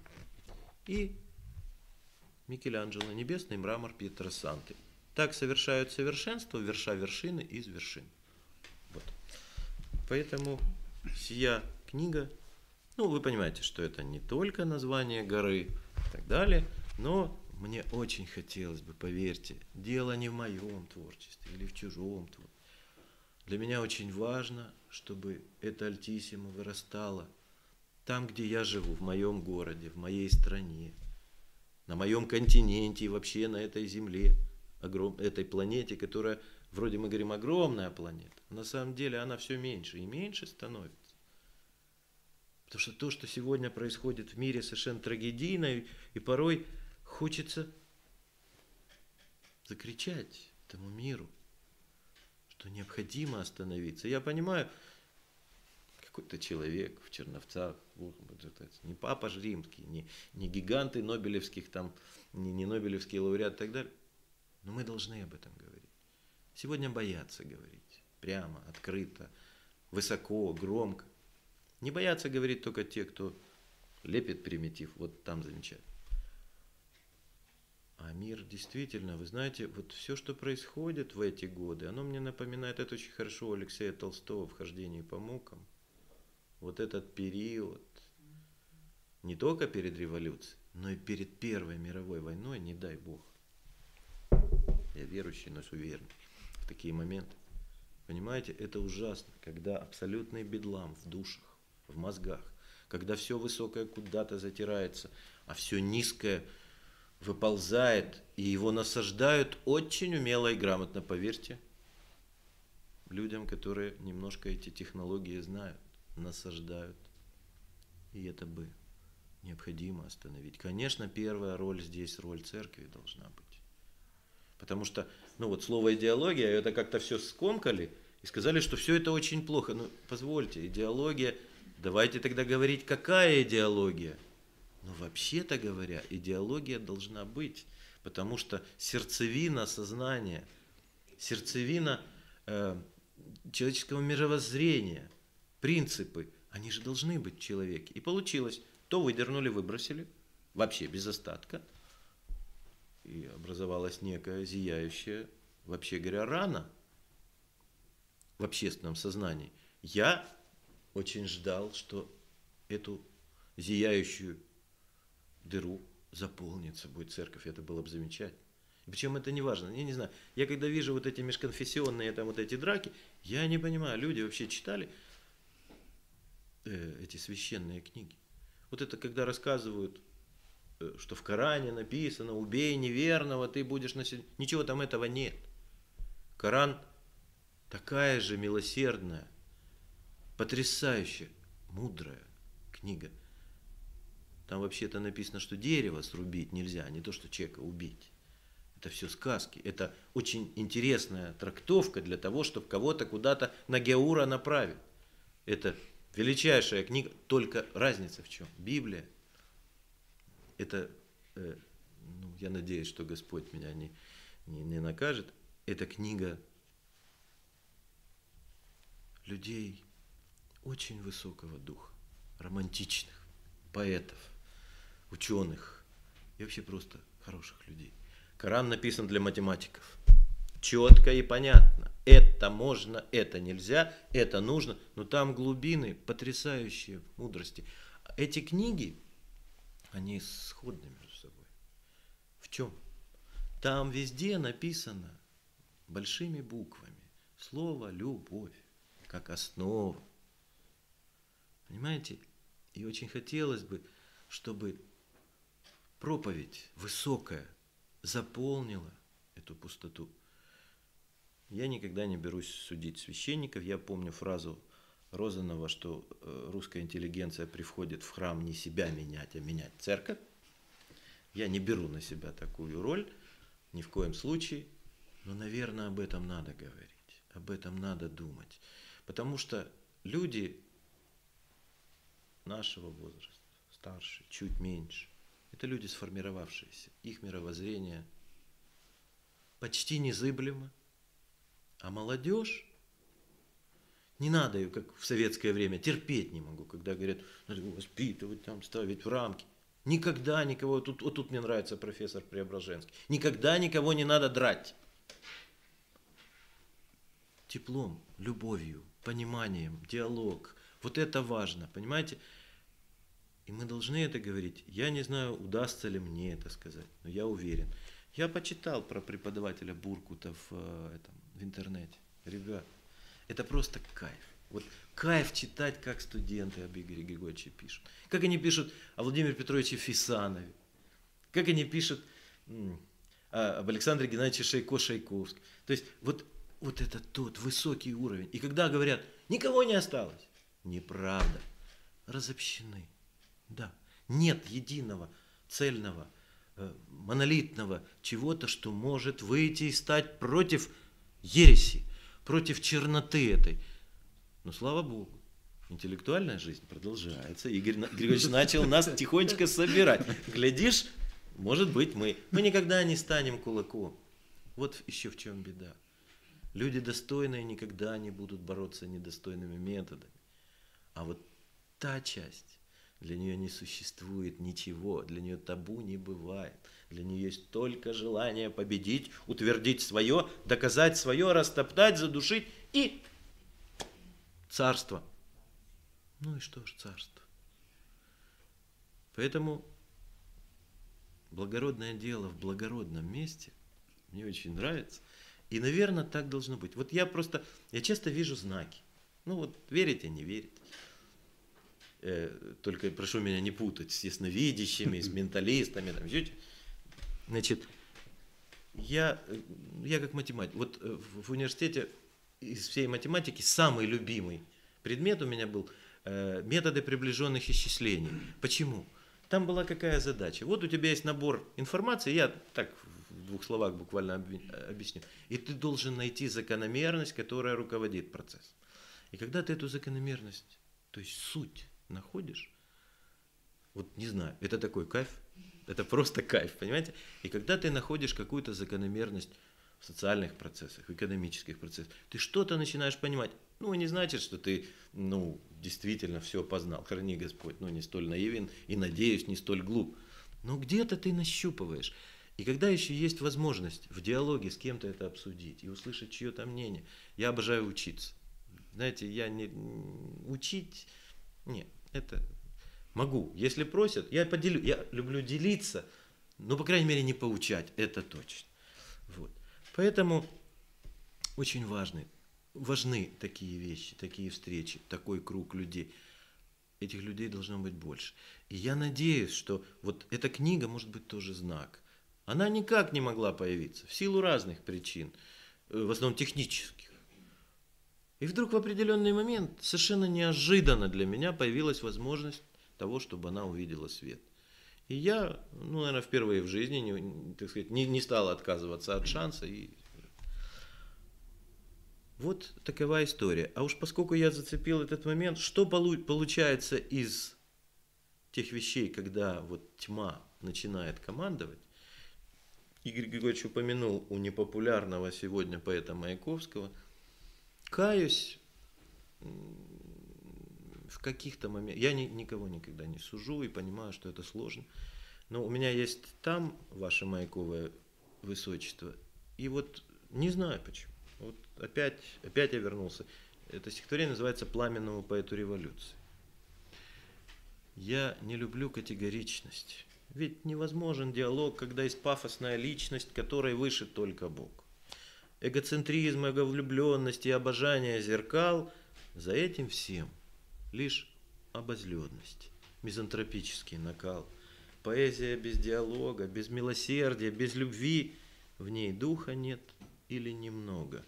Вот и купаются в крови те, кто писал с себя лишь только застывшей вечности портрет, чтобы остаться хоть на сколько-нибудь на вымученных. Чтобы твердынею недуховной над жизнью гордо вознестись и, чтя свой гений безусловным, глядеть на мир не глядя ввысь, себя, в себя лишь только веря, что люди, просто серый фон, вселенную собою меря, вдыхать лишь только свой озон, при этом попросту не смея стать человеком хоть на миг, живут лишь эгострасть лелея, имеющие не лицо, а лик. Дожил бы до тридцать седьмого, вот посмотрели бы тогда, как превратился ты в немого, осознавая, что беда с тобою рядом, как со всеми, что ты один из сотен тысяч, что ты лишь пролетарский леминг, а для грузина просто прыщ. И пламенное слово блудье, пожалуй, стихло бы тогда. И ты своей могучей грудью не защитил бы города, в которых вновь рабами духа срабатывался новый Рим, и бился б, как араму муха, и был бы не поэт, а мим, и исполнял бы повеление, в сторонку отложив века, и ждал бы, сколь еще мгновений отпустит горская рука. Ведь все, во что ты свято верил, решеткой страшной обнеслось, и стало лишь подножьем берий. Вот им их эго удалось. А ты свой бас на них потратил и подпирал собой их власть. Тебя терпели средь партзнати, пока вдруг не решили. Хватит, пора его уже и мати.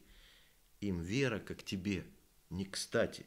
Ты, Ленин, партия, а тати под этим разумели всласть.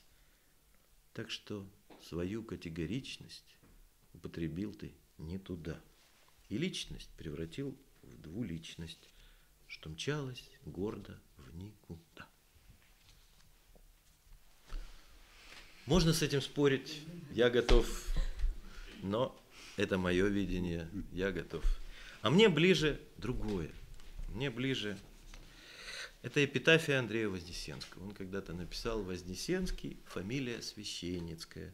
Мой прапрадед грузин был священником. Ваш прапрадед грузин был священником, ну а вы осветили собой не нолями орущие ценники, а поэзии мир голубой, не в том гадостном мерзком значении, что сегодня ему придают, а в высоком небесном свечении, где святые святых создают. Вознесенье, стезя окрыляемых, путь блаженных великих кровей, путь непознанных, узнаваемых, первозванных, каким был Андрей. На трибуне, жлобом распинаемым, под тупое хрющание толпы, не поддался, не предал сминаемый. Так рождаются духа столпы, так рождаются ангелы вечности, что слова могут в слово сложить. Это слово – словарь бесконечности, в коей им предстоит дальше жить. Вознесение, стезя окрыляемых, путь блаженных великих кровей, вы навеки среди узнаваемых, вознесенный призванием Андрей.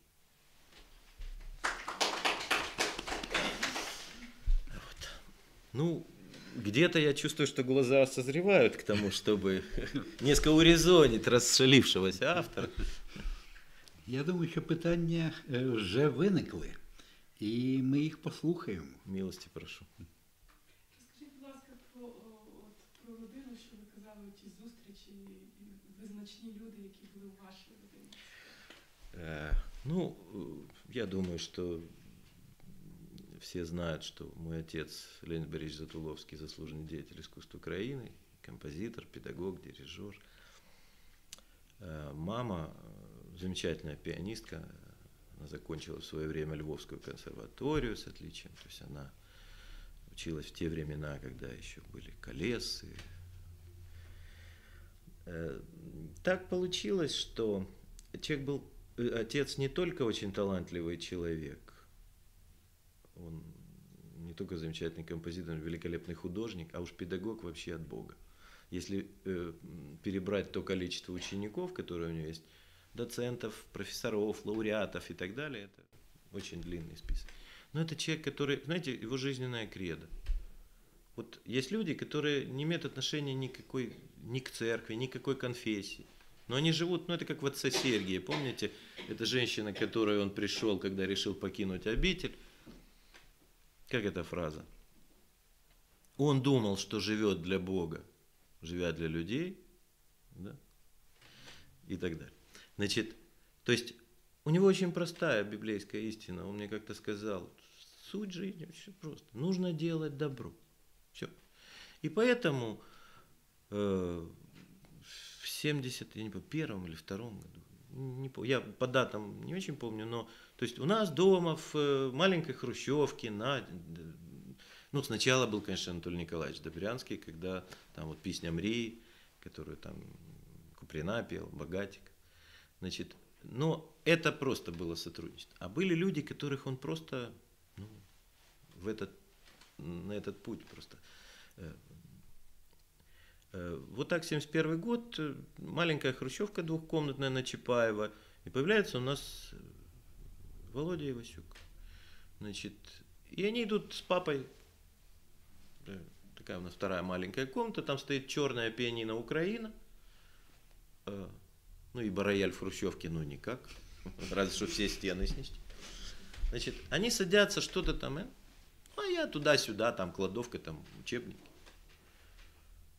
И, и вдруг папа говорит, а он ко всем обращался так ласково, Володенька, понимаешь, говорит, ты написал э, ну, целую симфонию. Я еще не понимаю, о чем идет речь тогда, это я потом. Значит, а надо написать клавир.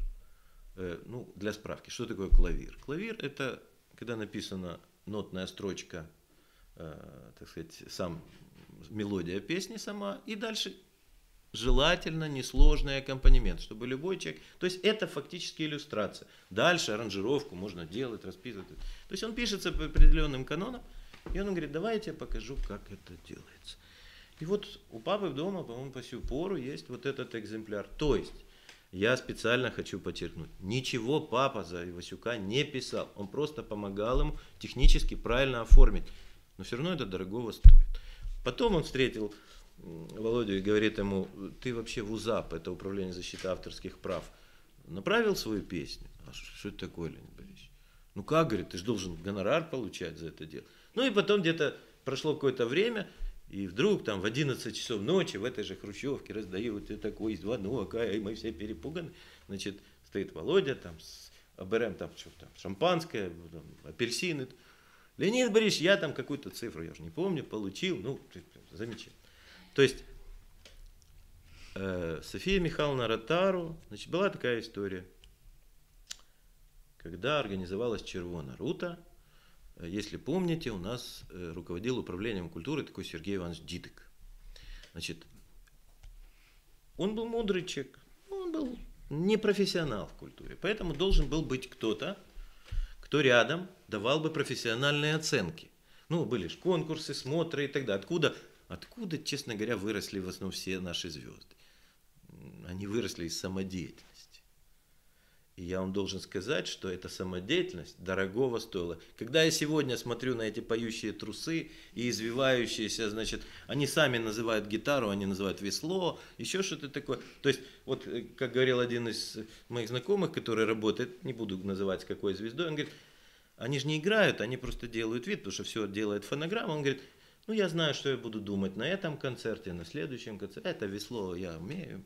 Причем великолепный музыкант. но не востребовано само это.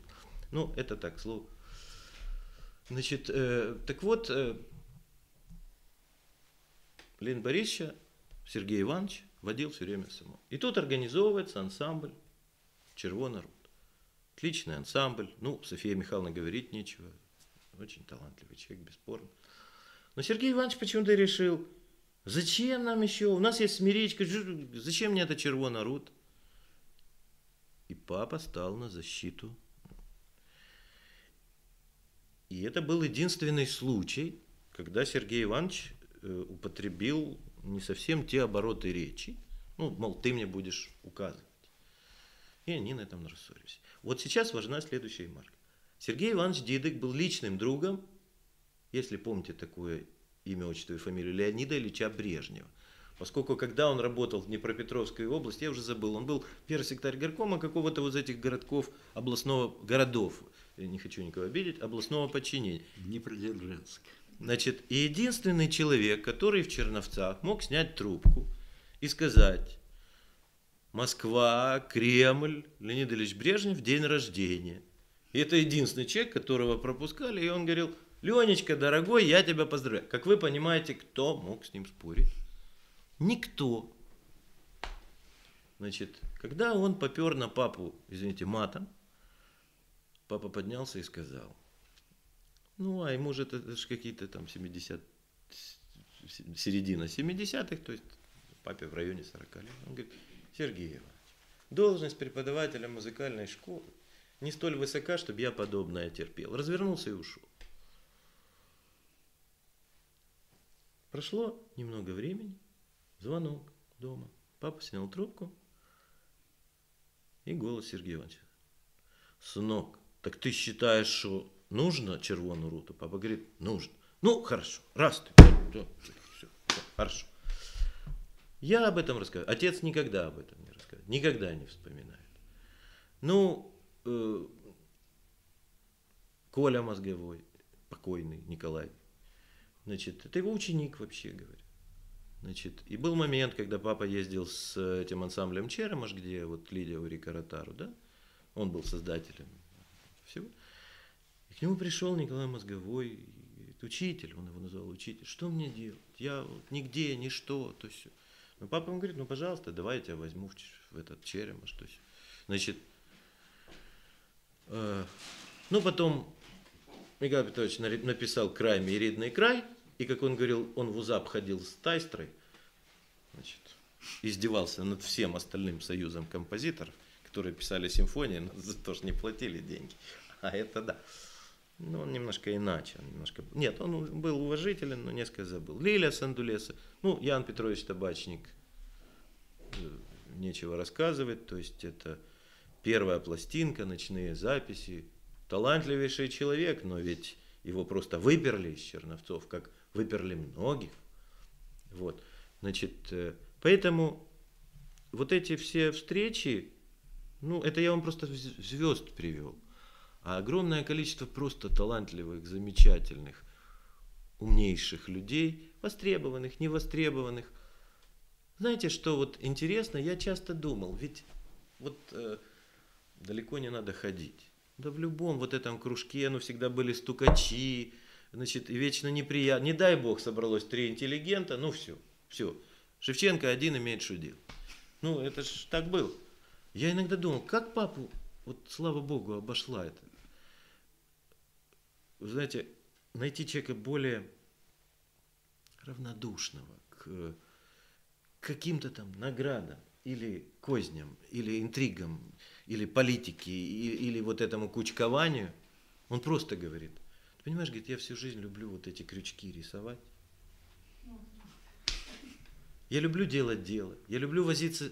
Знаете, у него огромное количество воспитанников, вот ребята из сел близлежащих, он ездил по этим селам, а тогда в 60-е, извините, не было бусиков, шмусиков, а была сплошная грязь. И он ездил, он приезжал часто поздно ночью. Чего он туда ездил?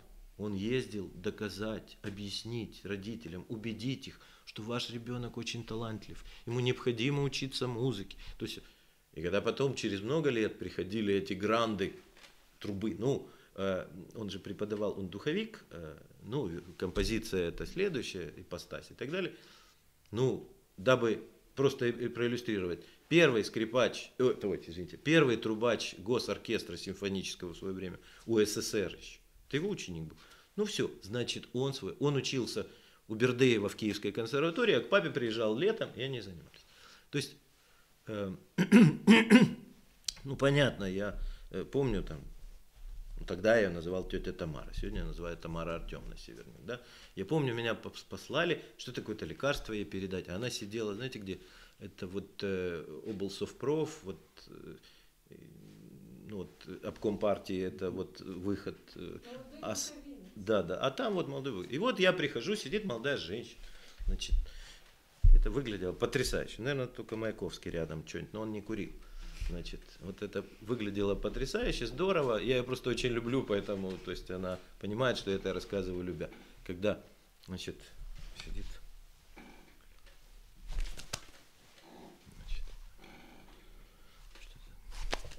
Ну, я ей когда показал эту сценку своего воспоминания, она хохотала здорово. Вот. Значит, ну и многие-многие люди, э, которые занимались живописью, поэзией и так далее. Это очень большой круг, это должна быть тема вообще отдельного разговора. Э, Я, правда, так говорю, боюсь, что получу на орехи, потому что он не любит, когда... э, Ну, он очень скромен. Это... и- Да, да. Особенно интернет, да. Да, ну вот такое. Так что, пожалуйста, если еще что-то. Ще питання, прошу. Можемо їх потім ще скажемо. Якщо, На- да, нас якщо. є, є ще е, можливості. Е, Тоді, е, мабуть, пані Леся, ми попросимо вам вас сказати пару слів. Я ну, ще зараз не буду, я тільки хочу за зазвичкою подякувати. На- Насправді, бачите, це настільки було гарно, світло. Е, Ми це відчули. Так робочий день десь трішки хтось не встиг, комусь не склав, хтось прихворів. Але дякуючи Галі і її такому ось старанному талановитому оператору.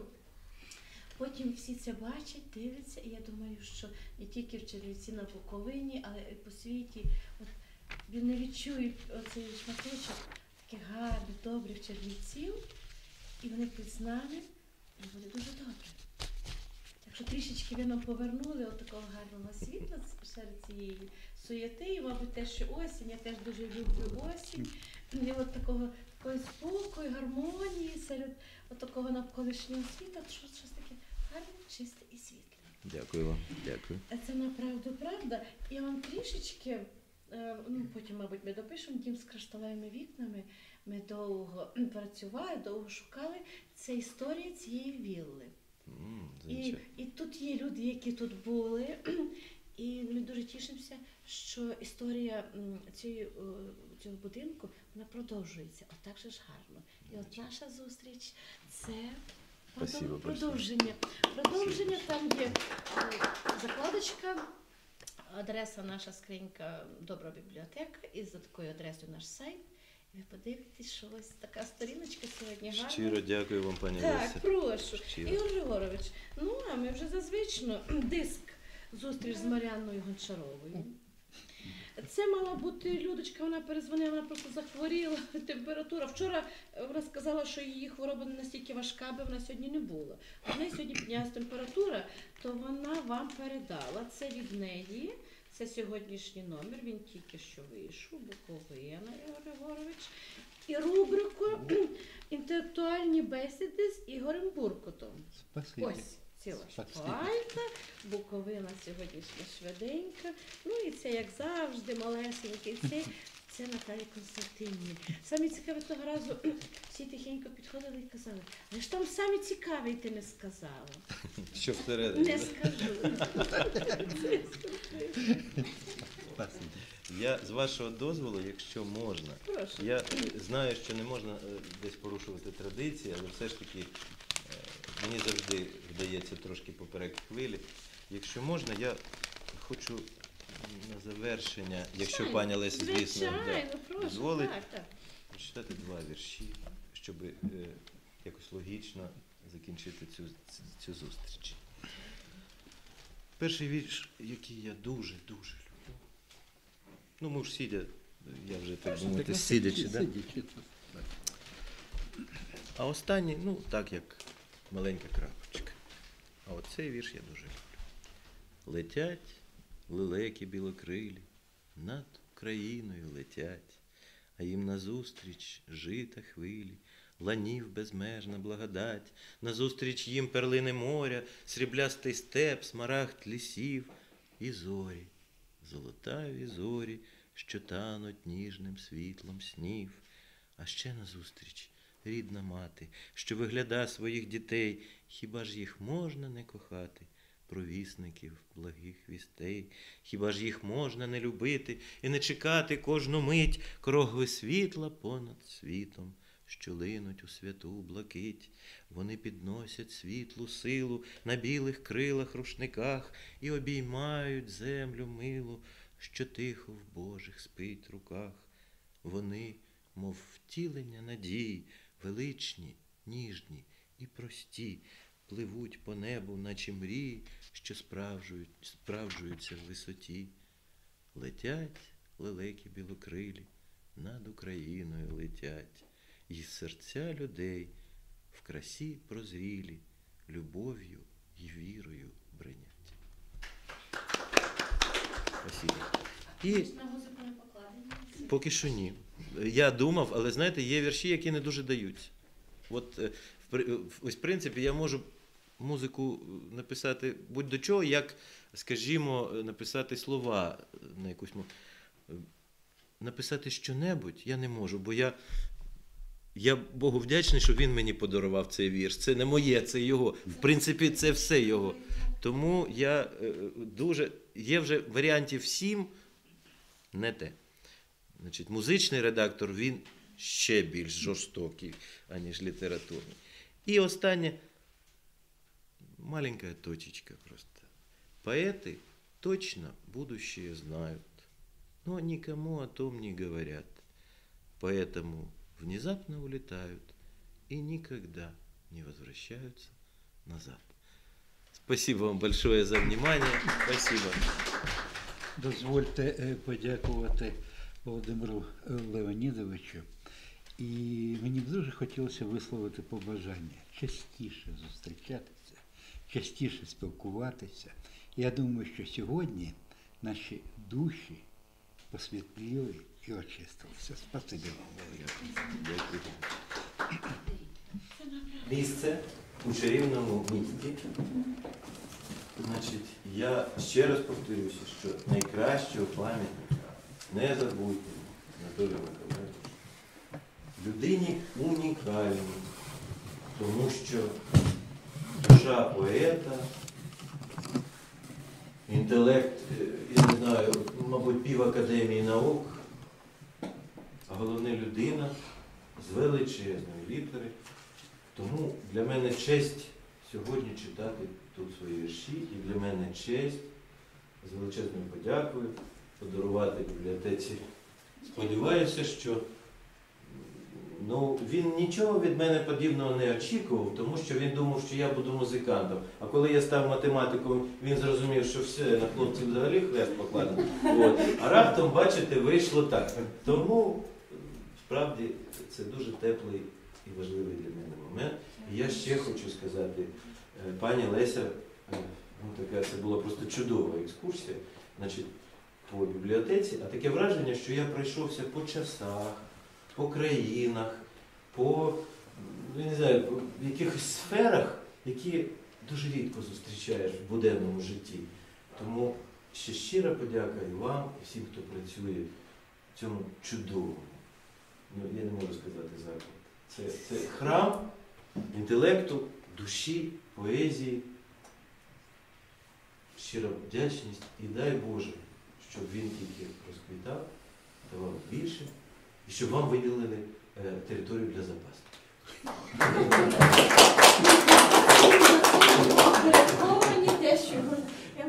Дякую, щоб ви собі побули серед того, що е, власне тих книг і того всього, що ваше життя. Я вам вдячна за ті слова. Вони всі мене інколи розуміють, кажуть, там пам'ятник, там ще дошки треба, там ще зірки треба. От як я сказала, кращого пам'ятника Анатолію Миколаївичу, чим ця бібліотека. Бачите, дітки навіть написано, що мене впустили, але вони біжать. І сьогодні ціла група прийшла і працюють. І так мені це приємно. І коли мені кажуть, де? Ну, в Добрянську, ми в бібліотеки Добрянську. Кращого От ви сказали дуже гарно. Ми у Добрянську. Він тут, він назавжди. Ми у Добрянську. Ми Це студенти, це студенти, у Добрянську. так, ми Так. Добрянського.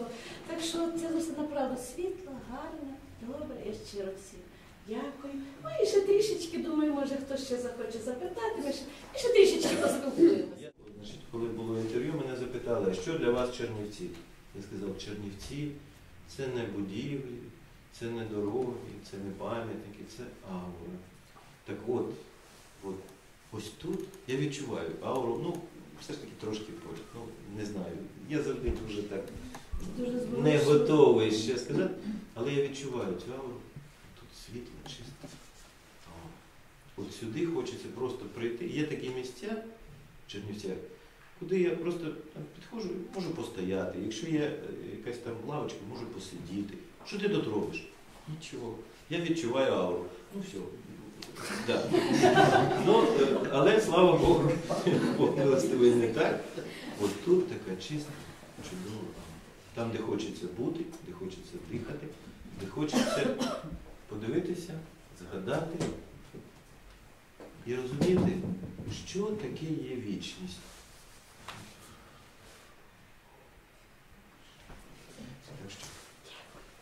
Дякую.